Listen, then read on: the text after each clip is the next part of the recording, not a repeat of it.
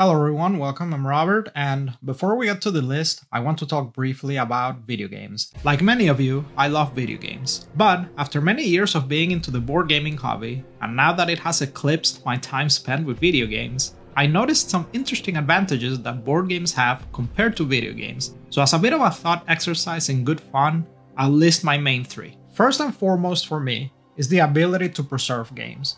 This has become increasingly difficult thanks to always online DRM systems and a lack of physical releases.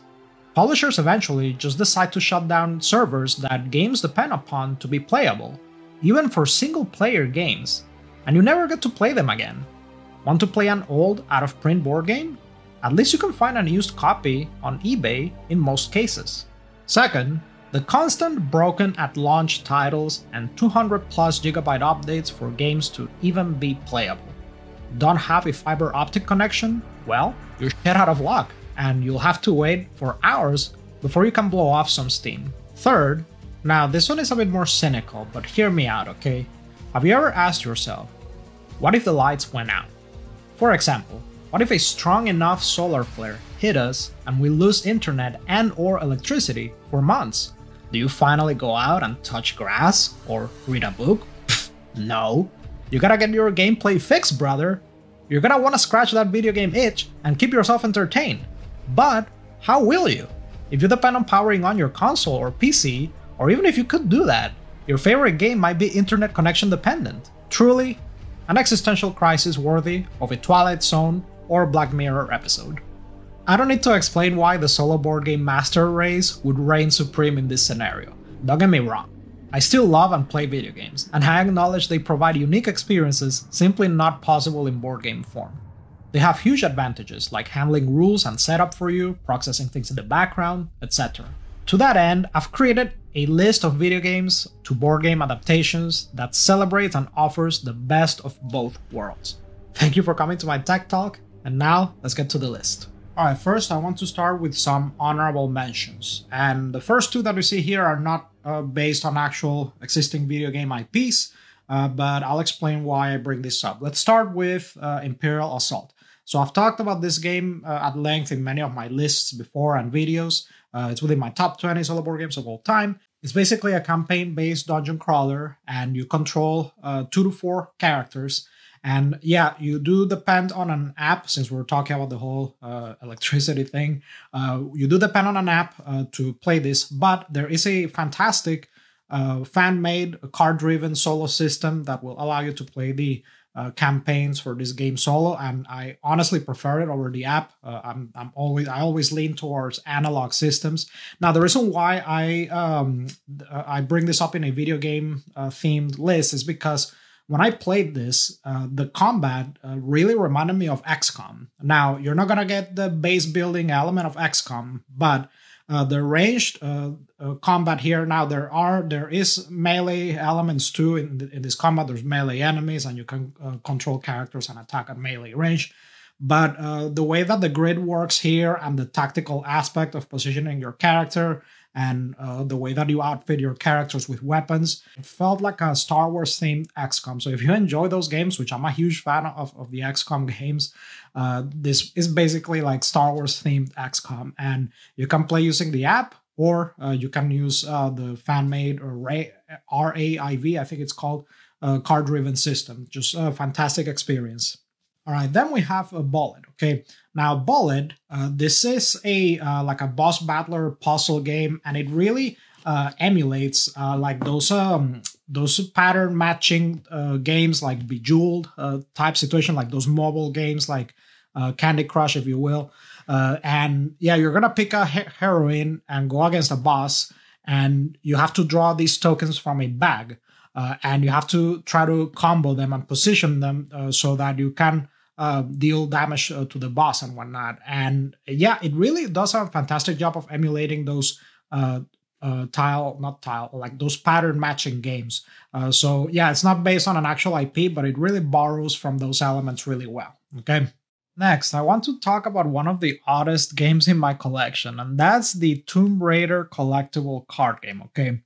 Uh, now, believe it or not, this game is actually soloable officially from the rulebook, and this game is from like the mid 90s. And uh, you know, it's a collectible card game that's soloable from back then. That, that's kind of crazy, first of all. And yeah, so this is a competitive dungeon crawler. It's so weird, but it actually is kind of fun. And uh, the booster packs and the uh, starter decks go for uh, just a few dollars these days on eBay. And all you need to play, if you want to check it out, is just to buy like a starter pack uh, for like 10 to twenty dollars.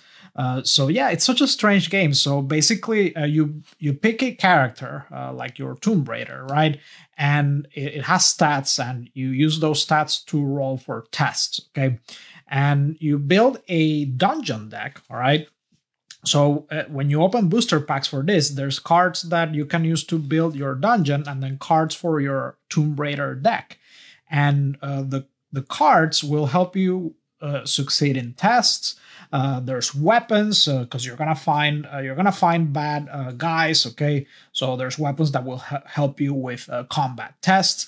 there's weapons that will heal you. sorry, not weapons. There's items that will heal you. Uh, so yeah, uh, there's uh, there's you know like equipment, and there's even like a mechanic here where like you save your game. Like it's it's so it's so bizarre. Like there's actually like when you create your dungeon you create save points where you respond to. It's such a bizarre game. And the solo works okay. Uh, like i think that it really could benefit from some house ruling. Uh, but yeah it's basically a dungeon crawler uh, with the tomb raider ip uh, in collectible card game form. very, very uh, bizarre game, but yeah, I mean, uh, it definitely could fits in the theme of this list. Uh, it is a video game based like uh, board game that's soloable. Uh, so check it out if you can find a if you can find a starter deck for cheap now, I want to talk about the Warcraft IP, and it's one of my favorite uh, IPs, especially from the RTS side. I did play World of Warcraft, but I don't have as much of an attachment to that as I do to Warcraft 3, Warcraft 2, Warcraft 1. So I, I really, really like those RTSs, okay? Uh, now, uh, Cloudspire is a game that uh, I have not played yet, and I'm making a bit of an exception here. I'm cheating a bit. Uh, I do always uh, include games in my list that I've actually played. But uh, Cloudspire has such a good reputation that I don't think I'm doing you a disservice by bringing this game up. But from what I've read, uh, this game uh, basically takes a lot of inspiration from games like Warcraft and MOBAs like uh, Defense of the Ancients. And you're gonna have a base, you're gonna have heroes, you're gonna have uh, minor units that you move around a map, and you gain resources and use powers. So uh, it has those elements from RTSs and, and MOBAs. Okay, uh, so uh, now I have heard that it is very complex, so do keep that in mind. And it's a chip theory game, so it's a it'll come at a premium. Uh, but uh, do read into Cloudspire if you want that analog uh, RTS fix. Okay, now on that same note, before we move to this, I want to talk about um, Heroes of Land, Air, and Sea, which I did actually play and own at some point, but I let it go. So that is a game that even more so heavily inspires and draws from games like Warcraft 3, okay? And it'll have the heroes, the moving around the map of units, the tiered command centers that you uh, upgrade over the course of the game, uh, so it's a 4x game that's soloable and it has a pretty decent solo system. It has many factions, just like in, in Warcraft. Okay, uh, so check that out. Now, I did eventually let it go because I felt that there was a bit of overlap as far as 4X games go between that and Scythe, and I much prefer Scythe. I think it's a bit more polished, okay, and it has a more interesting puzzle. Uh, not the most one-to-one comparison, but yeah, that's basically why I let it go. Okay, it's a very big box, but if you want that Warcraft 3 in board game form, uh, either uh, Heroes of Land, Air, and Sea and Cloudspire, you, I think you can't go wrong with those, uh, either of those, if you want to experience that. Okay. Now we also have in with the actual Warcraft IP, we have uh, World of Warcraft: Wrath of the Lich King. Okay. Now this didn't make it to my main list because this is more of a pandemic game, really. It doesn't really evoke uh, the World of Warcraft gameplay that much. Okay, you're you're not gonna have a character and level it up, right? It's basically just a pandemic game in uh, Warcraft uh, skin, right? But it is pretty decent, and it does evoke some of the game with like the characters and the heroes and their abilities and how you move around the map and uh, kill ghouls and abominations and you face the lich king at the end and you're gonna find familiar characters from the ip and it has a gorgeous sculpt it's pretty easy to learn. Uh, so this game has a lot of things going for it all right? But yeah it, it, you know it's not the most faithful like if you're a world of warcraft fan this is not gonna scratch the itch for that. Now i do want to very quick bring up that if you want something akin to like a world of warcraft in like small sessions where you explore a world with one character really quick uh, and go on quests. I've brought up in the past the Runebound series. Okay, uh, so read into those. Uh, they're kind of out of print, unfortunately, uh, but uh, read into the Runebound series. Okay, if you want something like that, I think uh, some people agree that it kind of feels like World of Warcraft. There's an actual World of Warcraft board game, by the way, but um, yeah, it's super out of print and, and it's not officially soloable, I think. But yeah, read into that if you want something like a World of Warcraft, analog World of Warcraft. But yeah, that's the Warcraft IP. I wanted to bring these games up. And now I also want to talk about uh, another game, and that's um, uh, Kingdom Death Monster, which uh, I finally had the chance to play this year, and I'll make a full review uh, on that or like a commentary on that. Just haven't gotten around to do that. But uh, I want to bring up Kingdom Death Monster because it is also another game that um, scratches that XCOM itch. It has that same gameplay uh, loop. You control four characters, uh, just like in XCOM. I think eventually in XCOM you grow up to six, if I remember correctly. You, you increase to six characters. But yeah, you control four characters throughout a campaign, and you have this settlement phase where uh, you gather, uh, you pick up the resources that you gather from the baddies that you uh, beat, and you use them for research, for uh, enhancing your characters, equipping them, uh, and crafting items. So it's it's pretty crazy how it um it's pretty crazy how it uh, uh translates that XCOM gameplay loop in board game form. It is very brutal and dark, okay, uh, which I'll, I'll, I'll elaborate on what I think about the game in my review later. But yeah, it is very brutal, very dark, and you have to control four characters. Not a lot of people, especially if you don't have a lot of background in board games, are gonna be equipped mentally to do that initially anyway. Uh, but if you enjoy uh, the board gaming hobby and you have the pedigree and you've controlled uh, multiple characters in complex games, I can recommend um, Kingdom Death Monster for sure. And it is pretty uh, pricey, by the way. Uh, but yeah, um, yeah, I'm not gonna get too much into uh, Kingdom Death Monster. Do look that up, okay? If you want that XCOM gameplay loop in board game form, yeah, um, Kingdom Death Monster got you covered. This is Warfighter, and it's not based on a video game IP that I'm aware of anyway. But uh, what this is, it's a card-driven uh, game where you create a single character or a squad of characters, and you throw them out on a mission. And it's basically like an action movie simulator. And the closest thing you'll get to something like first-person shooters or Call of Duty or SOCOM. And it has a really cool phase before the mission starts where you outfit your characters. So, just like in Call of Duty, you're to outfit your character with their weapon, their attachments, their gear. It's so cool. And there's also tons and tons, like an obscene amount of expansions for these games. If you want to make it your lifestyle game, you totally can. Now, my only issue with these games is the rule set. It is a bit of a pain to learn. Uh, there is a community made rulebook that apparently makes things a bit better and that's another reason this hasn't hit the table uh, for me in a while. Uh, I need uh, I dread a bit having to relearn it, but I think I'm gonna try that um, fan-made rulebook. But yeah, Warfighter is just a fantastic system, and uh, like I said, I think it's the closest thing you'll get to a first-person shooter in board game form if you really want to scratch that uh, shooter or you know outfitting your character itch. And now moving on to the main list. All right, let's start at number 10 with Stardew Valley, the board game. Now, while I'm not big into the farming style board game like this or Animal Crossing, uh, I did actually try the video game version of it, and I think it does a pretty good job of adapting it.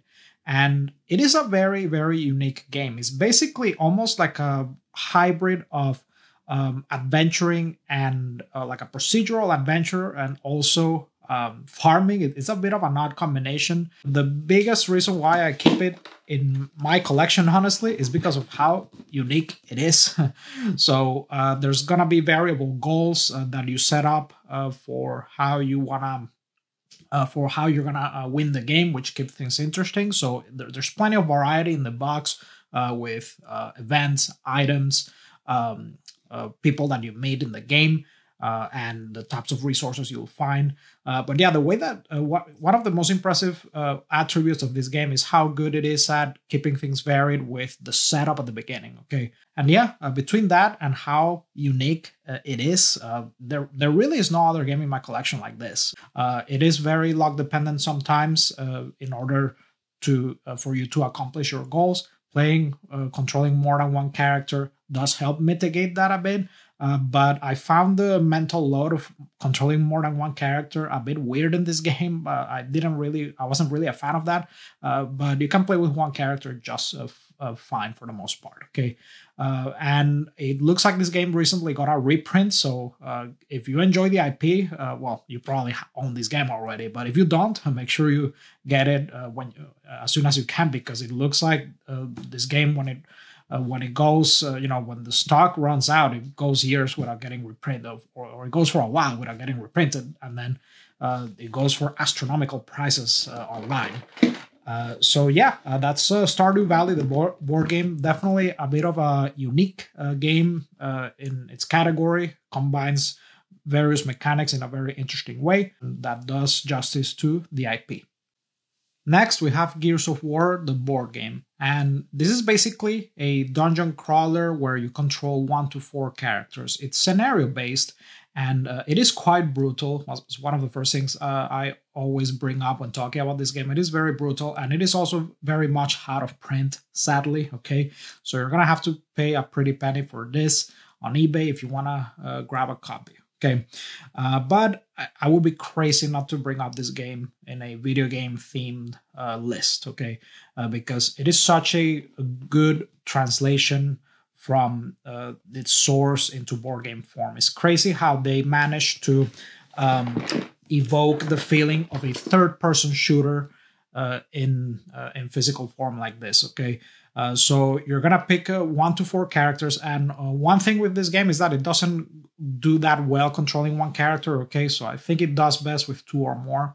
Uh, and you pick your your characters, which each of them are pretty distinct. All right, and you pick a scenario and you have at it. Okay, and uh, yeah, some of the scenarios are pretty tough. Okay, uh, but uh, yeah, there, there's still pr- plenty of variety from uh, the events. There's a very interesting AI system in this game that it's it's pretty reactive and uh, and it adapts to uh, where you are in the map and whatnot. It, it's it's a pretty impressive, not just. Um, tactical game with you, you positioning your character and moving them around and getting them in cover, but also the AI system is so interesting here the sculpts are great uh, and uh, there's like an expansion too but that goes for like a million like uh, absurd amounts of money if you want the expansion on uh, like it costs as much as the base game basically. Uh, but yeah so the, there's like more content if, you, if you're willing to pay for it one issue this game has is uh, with longevity. Once you beat the scenarios, there's not a whole lot uh, of uh, you know motivation for you to play it again. But yeah, this is a classic solo board game that made it to the top uh, list of uh, of people's choice games consistently ever since it uh, first started. And unfortunately, it's it's kept going back in rankings just because of its lack of, of availability. Uh, but yeah, it is a classic for a reason. It does check a lot of boxes, does a lot of things right, and it has such a cool system with hand management, uh, where your hand is your health points basically. So uh, it does a lot of interesting things very well. Okay, uh, but yeah, that's uh, Gears of War, the board game. If you're willing to, if you're a fan of the IP and you're willing to pay the price for it, there's a lot of fun waiting to be had with this title. Next, we have Resident Evil 2, the board game. And men, talk about phenomenal board game adaptations. It's crazy how well this captures its original source material. So you can play this as a campaign game or you can just play each individual scenario and it's pretty much based on the events of the video game, okay? And uh, you can play up to 4 characters and uh, you are basically it's basically like a survival dungeon crawler. So you're gonna create a map based on the scenario instructions and you're gonna have an objective. The objectives will typically require you to move from one end of the map to the other. And you know there's this event deck where a lot of bad stuff's gonna happen. And uh, it you know, I've repeated scenarios because I've died in this game, like, you know, trying to beat the scenario, and no two scenarios play the same, uh, even with the relative uh, small amount of components. It's so crazy how this game tells stories. Uh, it has a very good ability of telling stories, and I don't have a lot of horror games in my collection, and this game does pull that off pretty well. Like uh, the sense of helplessness, and also the fact that you have to preserve ammo. This is not like a run and gun like arcade game. You do have to be smart about when to use ammo. But yeah, if you're a fan of this IP, it really just is a no-brainer, and uh, if you want to experience that in board game form, this is just one of the best examples uh, of what is possible in this uh, board game format. Uh, what can be done to bring some of these IPs into board game form. to a a phenomenal game. Okay, and uh, since this and this was the first in the series, and since uh, then they've already come out with Resident Evil 3, Resident Evil 1. Uh, so I think you can't go wrong. Uh, so just pick whichever. Uh, there's some minor differences between them. Uh, so you know, do a bit of research and see which one you prefer. Uh, but uh, Resident Evil 2, as it happens, is was the biggest, like most influential, like uh, Resident Evil game that I played. Was the first one I played, and I've played others since. But you know, that experience was crazy back in the day when I played Resident Evil 2. But yeah, it's uh, pretty nuts. But yeah, that's Resident Evil, uh, the board game. I really think you can't go wrong with this. Moving on, we have Dark Souls, the card game. And man, this showed up in my last two lists already, but what can I say? This just scratches a lot of boxes. It does a lot of things right. I really just do like this game, and how could I not bring it up in this list? Uh, so if you're watching uh, this, uh, you know, me talking about this game for the first time, uh, I'll, I'll give you the uh, summary. So this is basically a dungeon crawler in card form, and uh, you control uh, one to two characters. And as, as I've mentioned before, I suggest that you actually control two. Doesn't control that great uh, with one character. But yeah, you control two characters, you move around a map, and uh, your character is represented by a deck. And there's an interesting deck construction element. So your character is your deck, and it's also your health. So when you take damage, you discard from your deck. Uh, when you upgrade your deck, you add cards to it, which basically increases your health and uh, there's this stamina cards that you use to activate your equipment. Uh, so there's this uh, deck construction element where you need to add stamina cards of specific colors that best matches your equipment. So very very interesting and unique in that uh, regard. Plays relatively quick, and it really does justice to the IP. It translates that element of combat with the enemies having certain movement and attack patterns, especially with the bosses. It really does such a good job at translating that. Uh, you can try just the base game, see if you like it. There's expansions, okay, uh, which I, I recommend you get, all right, to, for having a more classes and, and more variety. Uh, but yeah, just talking about this is making me want to play it. It's, it's just such a unique uh, and, and cool game. All right, uh, but yeah, uh, make sure that you look into this, especially if you're if you're a fan of the IP. look into Dark Souls, the card game. All right, next we have Fallout games. Now I'm gonna cheat a bit and put two games in one because uh, I don't want a single video game IP to occupy multiple spaces on the top 10, okay? Uh, now we have these two Fallout games which I've talked uh, about uh, at length. So I have a couple videos, one for each individually if you want to hear my extended thoughts on either and also a comparison video. So I'm going to list all three videos in the description if, if you want to check that out. Uh, but uh, these are two board game adaptations of the Fallout IP, and they offer quite different experiences. On the left here, we have the Wasteland Warfare game, and this is basically a miniature skirmishing game that also happens to offer a campaign element with a settlement phase uh, between missions, okay? Uh, and it is a bit complex for sure. Uh, they're both pretty complex games, uh, but this is this is definitely a bit more complex. Okay, uh, but it has a very very well written rule book, and uh, it has a miniature element. If you want to pay miniatures, uh, it will also require you to buy terrain. You need terrain for the best experience with this game, kind of like Warhammer. Okay, but it also scratches that Warhammer edge if you like Warhammer and you like miniature, uh, you know, skirmish games and whatnot. Uh, I did not try the campaign element for this, but it has that. And you know, if you want that adventuring element, you can go for that. Okay. Um, now on this side, we have the uh, Fantasy Flight Games approach to Fallout, and this is more of an overland adventure game. and you'll pick uh, one character controls very well, pretty well with one character. So uh, you'll pick your one character, you'll pick a scenario, and you you'll go on quests. Okay, and uh, if you accomplish the scenario goals, you win. And you're gonna move around the the land and kill monsters and gain loot, level up. Uh, so it it really um, emulates the RPG elements of Fallout pretty well. And I think this is the more faithful adaptation to Fallout, as I explained in my comparison video. But I personally prefer this game in general. Like, if I had to pick a game to play, I much prefer this. Okay. I really, really like how this plays, and it's more unique because there's not a whole lot of choices when it comes to solo skirmishing games. Okay. Uh, so, if you want to hear my extended thoughts uh, and more in depth comparison, uh, I'll list all the videos in the description okay? But yeah uh, I, I, would be crazy not to bring up these games in this list okay? Uh, fantastic games uh, and yeah uh, read about them check out the other videos and take your pick. Next we have civilization a new dawn. And this is just another game from this list that knocks it out of the park when it comes to adapting its source material. It's just so good at giving you that civilization fix in board game form. Now, keep in mind that this is not soloable out of the box. You have to download an official uh, document that gives you instructions for how to play this solo.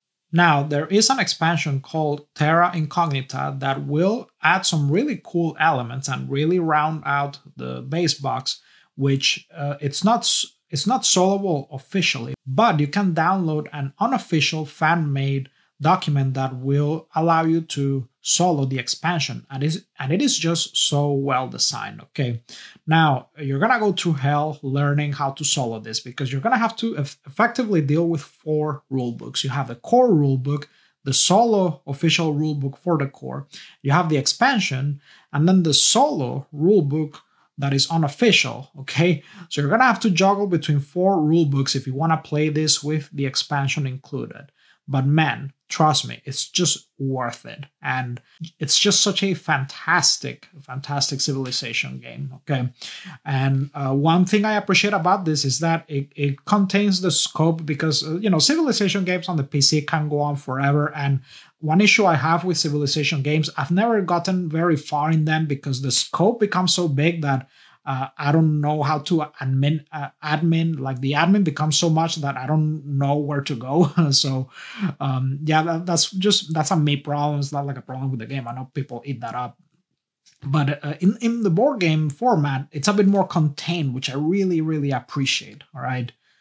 Now, since we're talking about civilization games, I also wanted to bring up to your attention Age of Civilization. It's definitely a bit more abstract uh, it's it's uh, lower in complexity, which I appreciate. It's shorter, but it's such a sweet game, and uh, even with the aesthetic, it really reminds me of that very first Sid Meier Civilization, like with the game cover. Uh, and if you look at the game components, uh, you'll know what I mean. But yeah, so you pick uh, civilizations and see them rise and fall, and you're gonna build wonders, and you're gonna you have like a research tree and everything.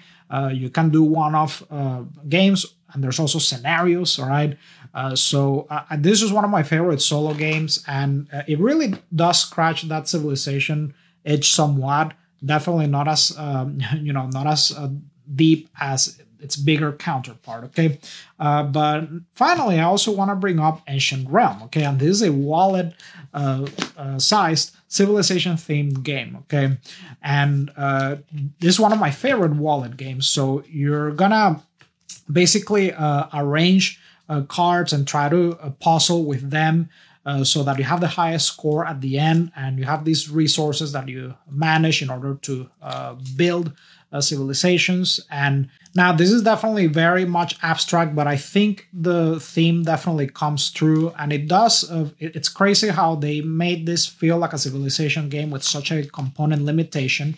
And it's just a sweet puzzle. I think that if you remove the theme um, it, it just works great as a puzzle on its own right.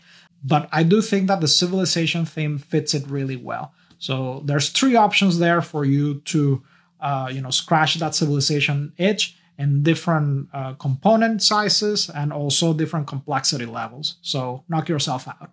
Next, we have Bloodborne, the board game, another game that was part of my previous list for best dungeon crawlers. And yes, this is a great solo dungeon crawler, and it doesn't require you to control multiple characters, a great attribute that is rare in a lot of these solo games. It does a fantastic job of translating its source material into board game form, and you'll control one hunter character and you're going to use them to complete three campaign missions. So this is a campaign game, but it's not a huge commitment. Campaigns are designed to just be three missions that you could complete conceivably in an evening, and it's a very uh, satisfying puzzly game that uh, doesn't use dice, uh, which uh, some people appreciate games that uh, don't use dice. But yeah, uh, so it is very very puzzly, and if you enjoy games like Mage Knight.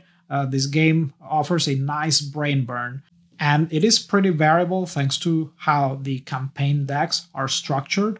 Uh, so you could repeat a campaign, and uh, between that and picking a different hunter, uh, you know, it's not gonna feel the same. And there's multiple campaigns included in just the base game. There's tons of expansions for this, but I just recommend you get the base game. There's tons of content in there already. Uh, but yeah, I could play this pretty much whenever. I just love uh, this game, and, and it was one of the biggest surprises for, for me uh, this year. Sat on my shelf forever, uh, but I finally uh, got this on the table, and man, it was fantastic. Such a nice brain burn with so much variety and gorgeous miniatures. Uh, and great possibly card play with no dice, which I like dice fine, but you know, it's nice to have a game that doesn't use dice and just does such justice uh, to the IP. And if you love the Bloodborne video game to begin with, you can't go wrong. That's Bloodborne the board game. Moving on, we have Heroes of Might and Magic 3, the board game. Now, here with the last three games that I'm gonna talk about is where it gets a bit spicy because I wasn't sure how to rank these games just because I like them so much.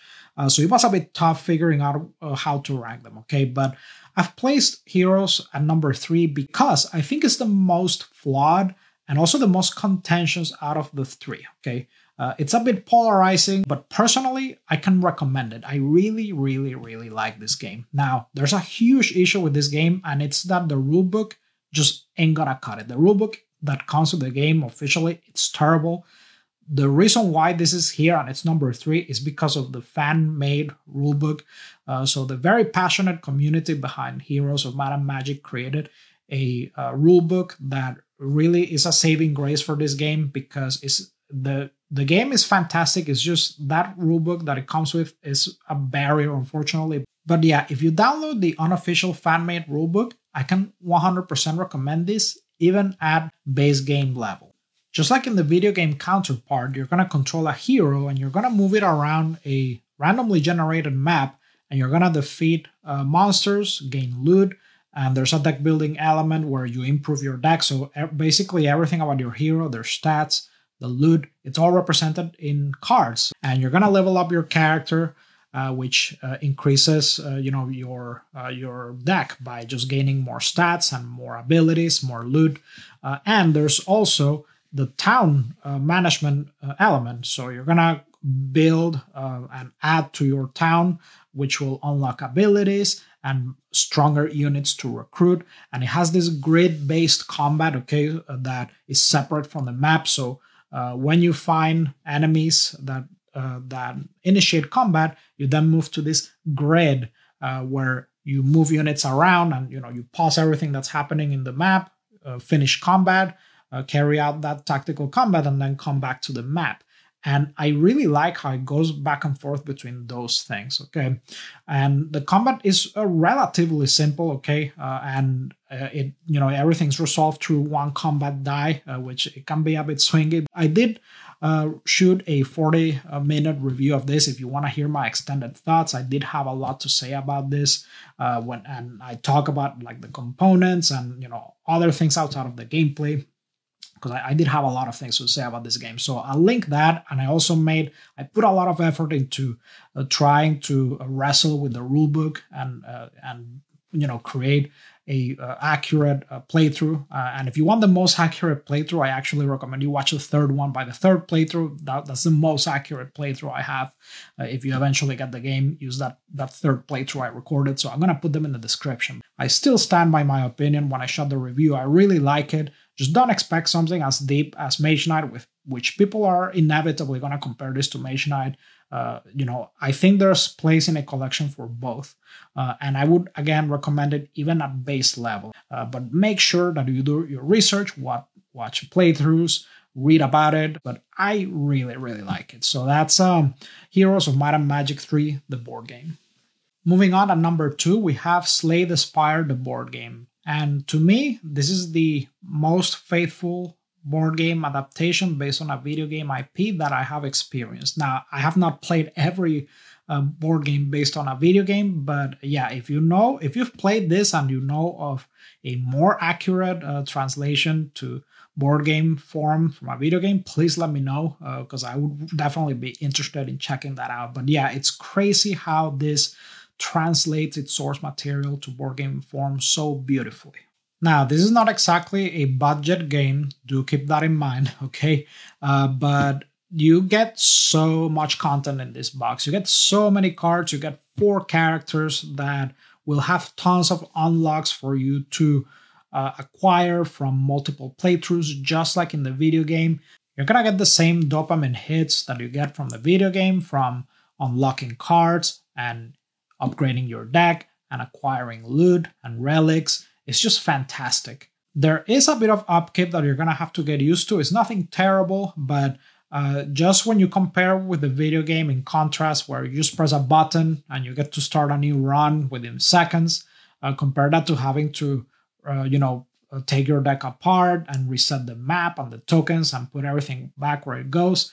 Uh, and only because uh, when you compare it with a video game, it, it, you know that contrast of how you know how easy it is to reset uh, the game in the video game compared to this. But that's it. It's not terrible. It's just the the comparison that that you know makes it a bit more obvious. The adjusted values for board game uh, with lower numbers compared to the video game do make uh, every card uh, play feel more meaningful and it just plays great with just one character. Uh, one big thing with some of these deck builders is that uh, in, in, board games is that sometimes you have to control multiple characters, but here you just control one character and there really are no compromises. It just plays beautifully solid. It's just one of the best games this year.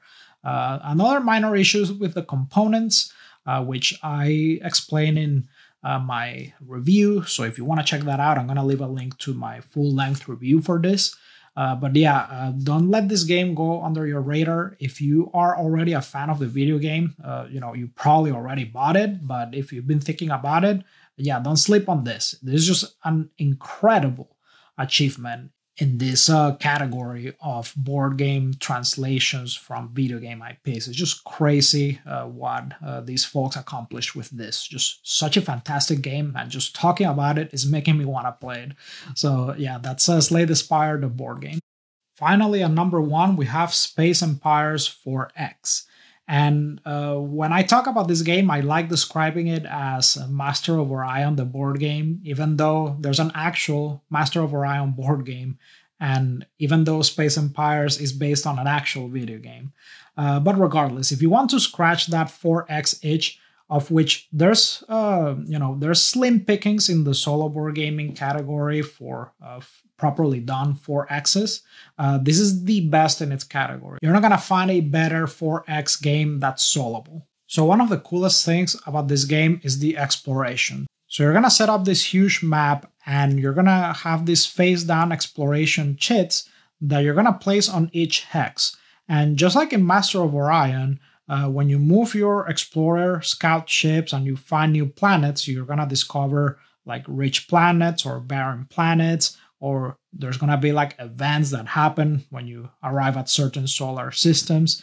Uh, so this has that same amazing exploration uh, property. Okay, I just really love how uh, as you expand from your original solar system, you're gonna flip the tokens and you know you're gonna build your empire and establish new bases. You're gonna bring your uh, you're gonna build your colony ships and send them out and you're going to create this uh, you know routes between your uh, solar systems and you're going to find interesting uh, you know events when you flip certain exploration tokens there's going to be the black holes uh, there's going to be asteroids warp points the exploration in this game is freaking amazing. And now some people describe it as like Excel, the board game, because you're gonna be doing a bit of Excel with how you manage your uh, empire economy. I don't mind. Okay. I think it works out fine, and uh, there is uh, a couple ways that you can play solo. Uh, there's this doomsday device where you kind of just have like a set amount of turns for you to make your empire as powerful as possible. And then this uh, super powerful doomsday device will go straight for your base and try to you know annihilate you. So you have to be prepared for when that happens. And then there's a more uh, multiplayer like solo mode where uh, there's this alien empire that you fight against and it has its own rules okay? And uh, there's a fan-made app that you can use for managing the alien empire. Uh, but uh, i think that either game works fine completely analog either mode if you want to play it. There's a couple expansions and a third uh, upcoming expansion waiting still waiting for that to arrive. Still haven't tried it with expansions and as, I, as i've mentioned in other videos i want to open all of them at the same time okay? I think that'll be quite the experience. But yeah this is one of the most beautiful solo board gaming experiences i've had and it also checks other boxes. Uh, it's a great 4x game soloable 4x game of which there's not many. Uh, it scratches that master of orion itch. It's a great hex and counter GMT game, which is a kind of a category of its own. It just does so many things right. Uh, the exploration is amazing. Uh, wow, I mean, just what can I say uh, about this game that hasn't been said already? It's kind of tough when comparing, especially with uh, Slay the Spire when it comes to video game adaptations, but uh, I'm gonna give the edge to this one personally, okay? Uh, so yeah, uh, but you can't go wrong with the last three titles I mentioned. Just uh, beautiful games uh, in general. Uh, but yeah, that's uh, Space Empires 4X. Alright, so I hope that you found a title in this list that will scratch that video game itch when the lights go out. And if you have any comments, questions, feedback, go ahead and put them in the comment section. If you enjoyed this content, make sure to like and subscribe, and I'll see you in the next one.